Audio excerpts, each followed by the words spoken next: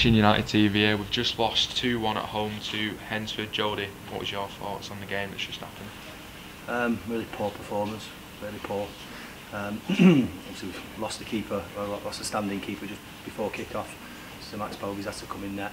Um, they've lost lost Pilkey in the first half as well, so two players down again. Um, obviously Alan Chalmers has been taken off, so injuries are absolutely killing us at this moment in time. Um, they're absolutely killing us and we've, we're down to bare bones. But I'm mentioning that because we can't use that as an excuse today. Yeah. We, were, we were poor all over the pitch.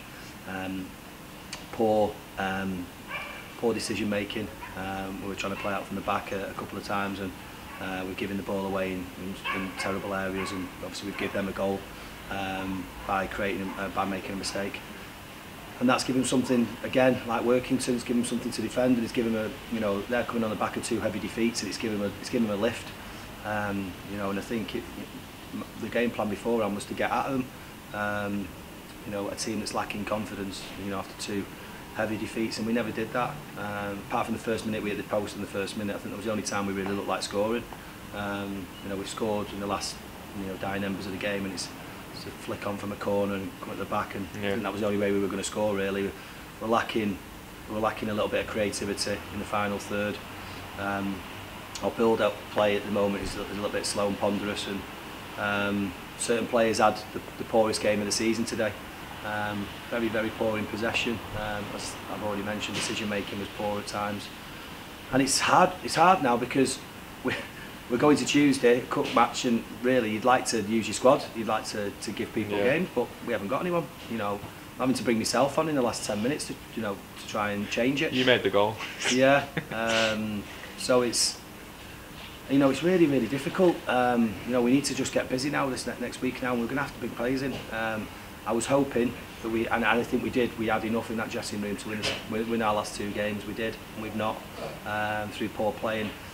I think certain players have to come out of that team um, because they're, they're not performing to the level yeah. that's required at this moment in time and we haven't got the players to, to take them out of the team um, so they're having to stay in it would have loved to have made changes after Tuesday night um, you know because we, we weren't at the races Tuesday night either and again it's we just look we look a bit sluggish we look very predictable the way we play I said at half time I want us to play out from the back and I want us to play through the lines but you have to manage the game as you see it, and sometimes we have to turn them, and we have to squeeze up the pitch, and we have to earn the right to play uh, the, foot, the type of football that we want to play. Yeah. We we did that, we did that a little bit a little bit better second half after we obviously we've had a chat at half time. Um, thought they had three im- immobile centre backs that we didn't move about enough. Um, thought thought the the threat for us was to, to get down the sides of, of the two centre backs, isolate them out wide and get one v ones. And we just didn't do that. Um, didn't do that enough. Um, probably from our poor build up play. Um, Yeah. You know, we were um, sloppy in possession a number of times. Probably the worst game I've seen Nicky Platt play in, in possession. He gave it away a number of times in the first half, uh, and he's been he's been very very good for us. Um, thought the three in midfield today were weren't weren't great, um, and I've praised them very highly uh, over the season Yeah. because they have done very well for us. Um, but you know we have to recognise as well sometimes when we don't play well. Um, we've not played well in the last two games. We've not done enough to win. Yeah. You know certainly deserved to lose today.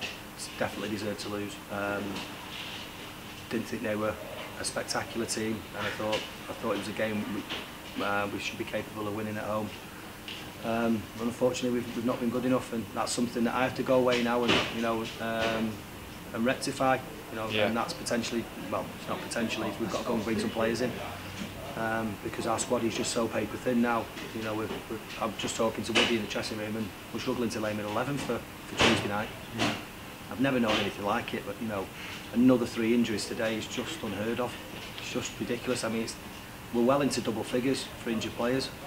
Um, two long terms, um, and you know, I, there's, there's no light at the end of the tunnel with some certain injuries. I think we're, we're looking to get Tom Eckersley back next Saturday, Jack Dyche, I'm penciling in for next Saturday, um, Dave Carnell next two weeks hopefully. Um, He's massive on Carnell as well. yeah, he's, he's, he's huge, and bless you know, uh, you know Max Max has come in today and, and, and done his best for us, but um, but we need a little bit more experience in there at this moment in time. Max will be ready, you know, eventually, but you know I think he, he needs to um, he needs to go and get some games somewhere Yeah. else to get that experience. Um, you know, someone like Dave Carnell brings you know, calmness and organisation to that back four that's lacking severely at this moment in time. So we need to get him back. Um, we need to get a left back in because you know Dom Smalley's done a great job in there for us covering. Um, but we need a natural left side. It- It's Mhm. our play is very predictable uh, when we're going down the left hand side because it, it's you know um, Dom's always looking to come inside, which naturally he would do because it's you know it's his, it's his natural foot. Um, but we missed that width that Josh would give us, uh, JP would give us. Um, JP's you know still unable to drive, so he's he's away away as well. So it's unfortunate we're going to have to go and get. We, we, we tried to get some in for today, but it's, you know we, we, we tirelessly spoke to a lot a lot of people uh, trying to get players in. Um, but my viewpoint it was no point bringing in just anybody. We had to bring in the right type Mhm. of player that will suit our system, but Yeah. um, that's capable of playing at this level. Um, we got offered a we got offered a few kids and stuff, but uh, maybe we have to go back and um, and explore those um, explore those opportunities now because we need we just need bodies right now. Mhm, Um, yeah. We need bodies. We need um, we need fresh impetus, fresh legs, and maybe a little fresh ideas going forward. Um, like I said, we last two games we've, we've definitely lacked uh, imagination and penetration in the final third. With um, obviously the situation at the moment, we're down to bare bones in a squad, and obviously the results haven't been good enough for the past Yeah. for the past two games. How much emphasis do you put on your senior players right now to step up to the mark? Yeah, um, yeah, should do. We, we- we've got good leaders in there, you know, lads that hate losing football matches, and we have to get together. And as, you know, I thought we were a little bit petulant in the first half. Um, you know, we started, you know, things weren't going right. We started turning on each other a little bit, and Mhm. that's when you know, senior players and leaders and stuff get a grip of you uh, and drag you through. And sometimes when you're not playing well, you know, you need those big players to to get everyone together and, and drag you through. And maybe you nick a point, or you know, it's a tight game, you nick the win. Um, and it's you know it is vitally important, but it's you know it's, it's they're uh, probably tired. You know, we've, eh, it's relentless this league. You know, Saturday, Tuesday, Saturday, Tuesday, Saturday, Tuesday, and yeah. and obviously with us carrying so many knocks, it's very difficult to, to change the team, even during a game. Um, it's very difficult to, you know, when obviously once Oscar's gone on, we need we need a goal, and you know, there's only myself left. Yeah. Um, you know, and, and so we have to we've, we've got to look at that, and we've got to bring some players in. Um, we've got to bring some players in and.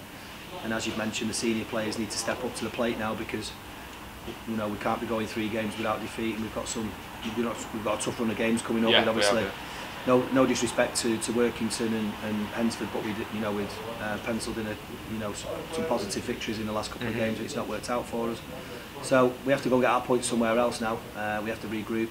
As a management team, we have to go out and get busy and bring some players in um, because we're massively short of numbers. Yeah. I, I won't mention the Mossley game because we've already briefly spoke about it anyway. Yeah. But moving on to Mickleover next Saturday, you said we might have some new players and players coming back. Just how much emphasis you put in that game on to really come back and get the three points?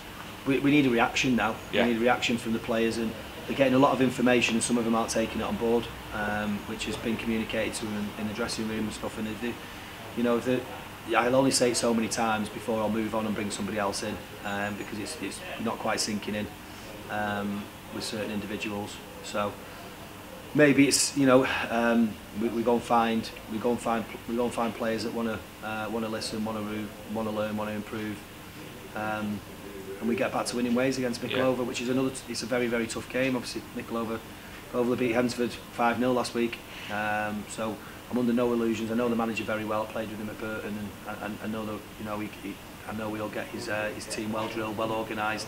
Um, he's got a lot of young players there as well. Um, so I, I envisage a very tough game, Yeah. and we'll have to be, we'll have to get some players in, and we'll have to be at our maximum if we want to go there and win. Right. Well, thank you very much for speaking to us, Jody, and I'll see you at Mossley on Tuesday in Manchester Premier Cup. See you Tuesday.